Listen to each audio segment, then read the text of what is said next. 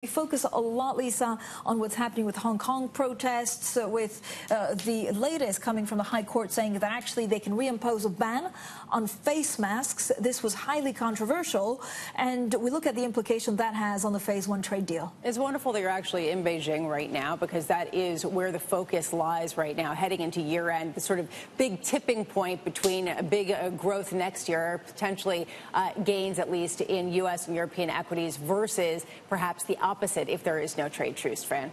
Francine. Yeah, I think the, the, the, problem is that if you're a trader, how do you trade? If you're a central banker, how do you mitigate that risk? Uh, we'll have plenty more of discussion on that. Now let's get straight to the Bloomberg First Word News in New York City. Here's Viviana Hurtado. Hi, Viviana. Hi, Francine. Lisa, that's where we begin with China's President Xi Jinping.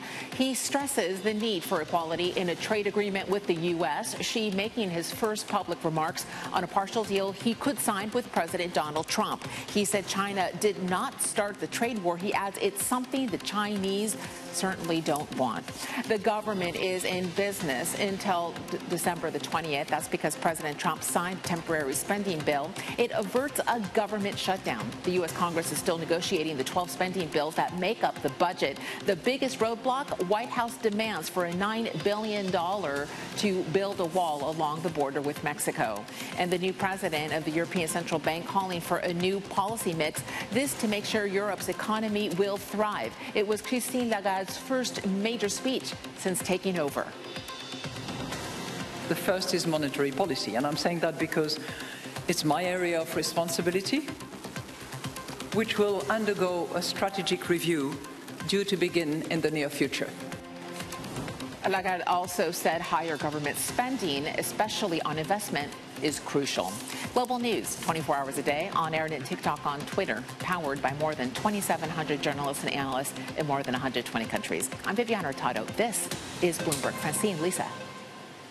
Viviana, thank you so much. Now, first of all, it's very clear that traders and investors are trying to figure out how to trade the uh, how to trade the trade headlines. See what we did there. This is the picture for equities across the board. So European equities are slightly on the upside. If we bring a board up, I hope we have it. We should have it. Treasuries rising, along with most benchmark bonds in Europe. Uh, one thing I didn't put, which I should have put, was the pound. It's actually falling, uh, following a gloomy reading of company sentiment. And Lisa, I just put renminbi just to remind myself what I'm paying for my uh, meals. But this was, you know, part of the trade negotiation for some points. But since it's broke after that seven level, things seem to be uh, less critical than before. But 704 is where renminbi is now. Yeah, really, it is a muted price action day without a clear sense, uh, one way or another. Certainly heading into the U.S. Open with futures barely up, uh, and you can see how much bigger it is over in the U.K. with London's uh, FTSE uh, rising more than a percent. Crude taking a dip, uh, which is sort of interesting given there was sort of slight risk on feel elsewhere, and the euro losing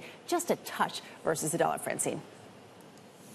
Uh, Lisa, at the Bloomberg New Economy Forum, we heard from a number of executives on Hong Kong as a financial hub. This is after just moments ago, about an hour ago, we heard that a court temporarily has reallowed a mask ban, something that was very controversial. But this is what the chief executive said before we had that news.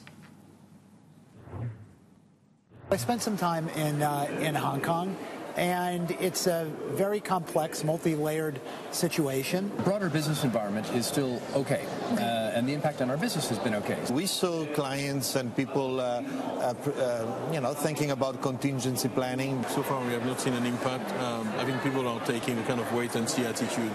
Uh, and I think the central expectation that this somehow will get resolved. Obviously, with, with, the, with the, the, the, downward pressure on economic activity, I think we can expect to see some more impact from here.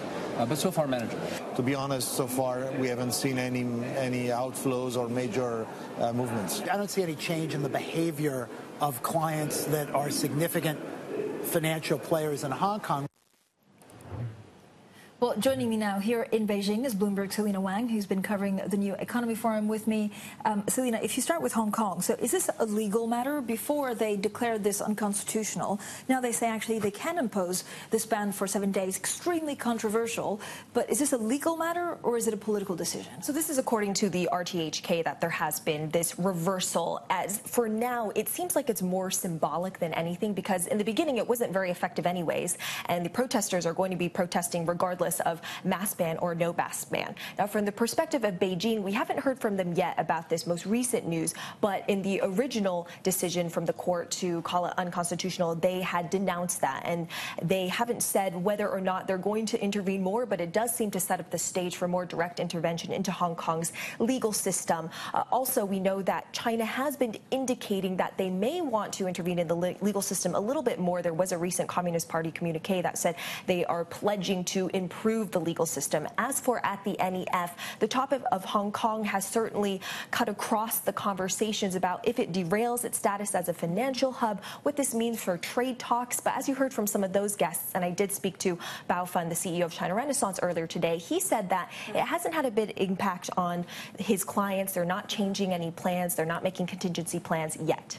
But is this going to worsen the protests? So if they if they feel like this is unfair, like this was you know a challenge that they had dealt with, does it mean that we could see more violent protests?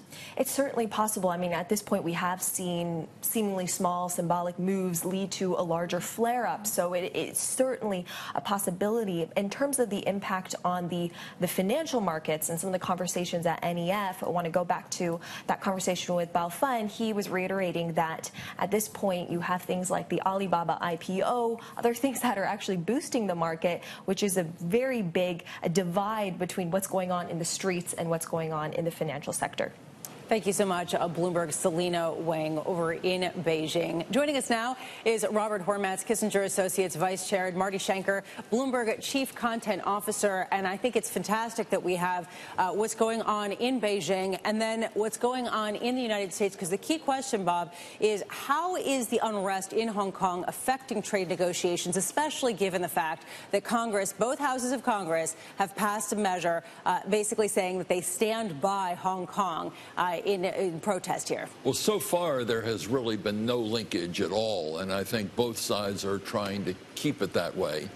The new bill that you uh, have just indicated has passed both houses of Congress uh, has uh, stirred a, a, substantial reaction in Beijing, as one would anticipate that it would. Um, but in terms of linking it to trade, there really doesn't seem to have been any intent on, on either side to do this. The trade negotiations are uh, developing and have developed a certain independent status. The Hong Kong issue is is a very different set of issues. And is it possible to keep them delinked?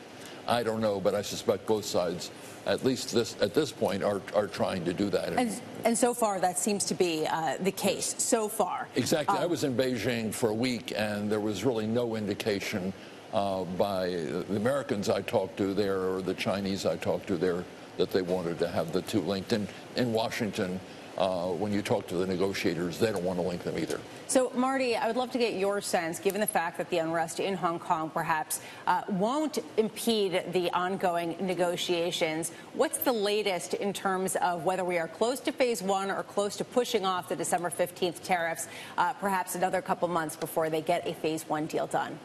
Well, you know, like all negotiations, you're, you know, the fact that you're almost there means nothing until you have an actual deal. It reminds me very much of the European bank crisis when, uh, you know, there were reports and headlines constantly that they were close, uh, but it took months for a deal to get done. So uh, I do think it, uh, both China and uh, Donald Trump want to keep these issues separate, and so far they've been able to do that. But uh, Marty, the vice president, right, Mike Pence, I'm reading about it now, catching up on some of the news just three days ago, right, saying that it would be tough for the U.S. to sign a trade agreement with China if the demonstrations in Hong Kong are met with violence. That's not really keeping separate issues, is it? Yeah, he was a sort of outlier there uh, because the Trump administration, we ourselves have been trying to get the White House to provide their view on this Hong Kong bill for weeks and couldn't get any traction at all from the White House. And it doesn't, and Donald Trump himself has not come out and said anything of, of substance on the Hong Kong protests. And you would think he would. The pictures are pretty vivid, and he watched uh, he watches television. So uh, I think Mike Pence is sort of an outlier. Uh, it's really what Donald Trump thinks uh, that matters most.